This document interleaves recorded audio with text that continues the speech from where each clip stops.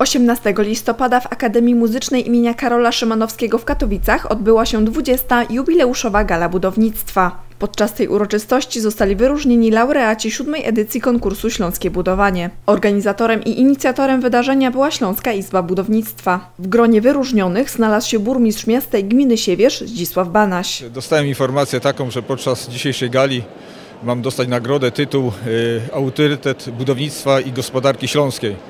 Także jestem niezmiernie radosny i szczęśliwy, że takie wyróżnienie dla burmistrza miasta i gminy Siewierz. Trzeba powiedzieć, że w Siewierzu bardzo dużo inwestujemy, są ogromne środki finansowe przeznaczane na inwestycje.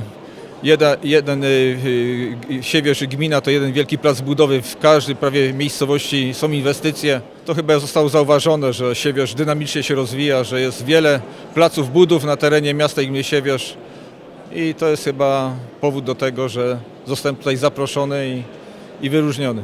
Uroczystego otwarcia gali dokonał prezydent Śląskiej Izby Budownictwa, przewodniczący forum Tadeusz Wnuk. Mam zaszczyt i przyjemność powitać Państwa i dokonać otwarcia kolejnej, tym razem, jak Państwo widzicie, jubileuszowej 20. gali budownictwa.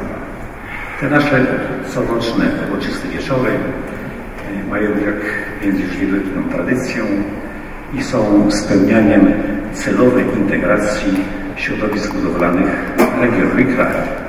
Celem konkursu jest promocja atrakcyjności inwestycyjnej i gospodarczej oraz możliwości eksportowych województwa śląskiego. Nagrodzone zostały osoby i firmy, których zawodowe sukcesy, wyniki gospodarcze, przedsiębiorczość i talent stanowią przykład do naśladowania. Burmistrz miasta i gminy Siewierz uhonorowany został nagrodą Autorytet Budownictwa za kreatywność i profesjonalizm w organizowaniu finansowania i realizacji programu rozwoju inwestycyjnego miasta i gminy Siewierz. Szanowni Państwo, Siewierz jest małym miasteczkiem, ale muszę powiedzieć, jakbyśmy dzisiaj go chcieli zobaczyć, czy to miasto, czy gminę, to w każdym sołectwie, w każdej części miasta coś się buduje.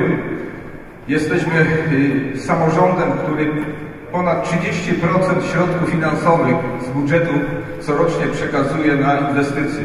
To są miliony złotych, które przekazujemy na inwestycje, aby poprawiać warunki życia naszych mieszkańców. Jestem przekonany, że to, co już od kilkunastu lat robimy, będziemy kontynuować i że nasze małe miasteczko będzie coraz piękniejsze.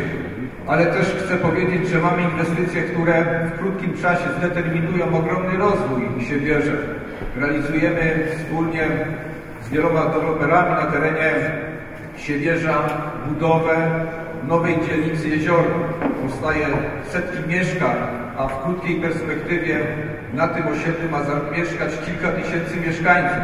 A więc Siewierz, miasto i gmina rozwijają się dynamicznie. Myślę, że jest to też yy, efekt tego, że dzisiaj zostałem tak wyróżniony za to, co robimy.